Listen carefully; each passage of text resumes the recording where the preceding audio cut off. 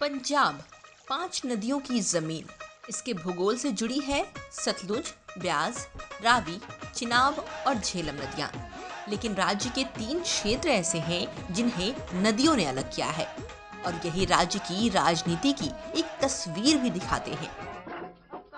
पूरे चुनावी मौसम में आप मालवा, माझा और दोआब के बारे में सुन रहे हैं। पंजाब का राजनीतिक चित्र दिखाने वाले तीन क्षेत्र।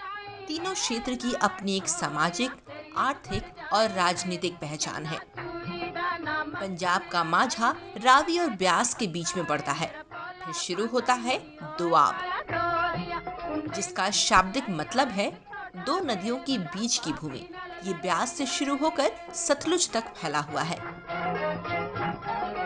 सतलुज से आगे मालवा का इलाका है, जो तीनों में सबसे बड़ा है। सबसे पहले मालवा क्षेत्र पर एक नज़र डालते हैं।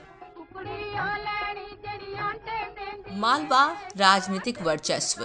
पंजाब की 117 विधानसभा सीटों में से उनहत्तर इसी इलाके से आती हैं और ये सबसे बड़ा इलाका है।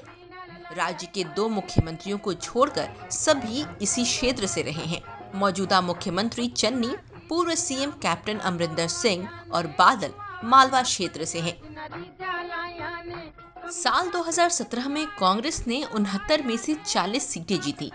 आपने क्षेत्र में 18 सीटें जीतकर राज्य की राजनीति में धमाकेदार शुरुआत की। पारंपरिक गढ़ में अकालियों ने अपनी ज़मीन खो दी और मालवा में वो सिर्फ़ आठ सीटें ही जीत सके।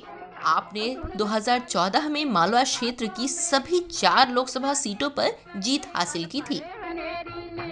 मालवा साल भर चलने वाले कृषि आंदोलन का केंद्र भी रहा। पंजाब यूनिवर्सिटी की स्टडी के मुताबिक विरोध प्रदर्शन के दौरान जान गंवाने वाले 700 किसानों में से लगभग 80 प्रतिशत मालवा क्षेत्र से ही थे।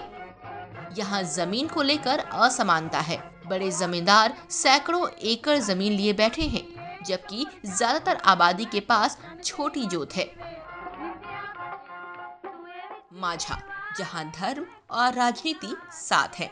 माझा क्षेत्र पाकिस्तान से लगा हुआ है और ये रावी और ब्यास नदियों के बीच है। माझा का अर्थ है बीच में। विभाजन से पहले अविभाजित पंजाब का ये केंद्र हुआ करता था। 25 विधानसभा सीटों के साथ माझा राज्य में पंथ या धार्मिक राजनीति का केंद्र है। अमृतसर में स्वर्ण मंदिर और पाकिस्तान में दरबार साहिब को जोड़ने वाला करतारपुर कॉरिडोर यही है। ये क्षेत्र परंपरागत तौर पर अकाली दल का गढ़ रहा है, लेकिन 2017 में हालात बदल गए। 2017 में कांग्रेस ने 22 सीटें जीती और शिरोमणि अकाली दल सिर्फ़ दो सीटें जीतकर हाशिए पर आ गई। आप अभी तक इस क्षेत्र में खाता नहीं खोल सकी है। Doab, Dalit vote bank. Sutlej और ब्यास के बीच स्थित दुआब, जिसका अर्थ होता है दो नदियों के बीच की भूमि, अपनी उपजाऊ ज़मीन और एनआरआई का गढ़ होने के कारण ये राज्य का सबसे समृद्ध हिस्सा है। तेईस विधानसभा सीटों के साथ ये पंजाब में राजनीतिक रूप से सबसे छोटा क्षेत्र है। दलित वोटों के मामले में ये सबसे अहम क्षेत्र है। यहाँ की सीटों पर अनुसूचित जाति का वोट 25 प्रतिशत से 75 प्रतिशत तक का है। पंजाब की कुल आबादी में दलितों की संख्या 32 फ़ीसदी है, जो देश के किसी भी राज्य में सबसे ज़्यादा है। डेरों का केंद्र भी यही है। दलित पुनर्जागरण की शुरुआत भी यहीं से हुई। यहाँ की अनुसूचित जाति की आबादी बेहतर शिक्षित, अधिक समृद्ध है और उसमें सामाजिक रूप से आपसी जुड़ाव है। 2017 में कांग्रेस ने अपने इस गढ़ में 15 सीटें जीती। पाँच सीटें अकाली दल को मिली थी और दो सीटों पर आपको जीत मिली थी।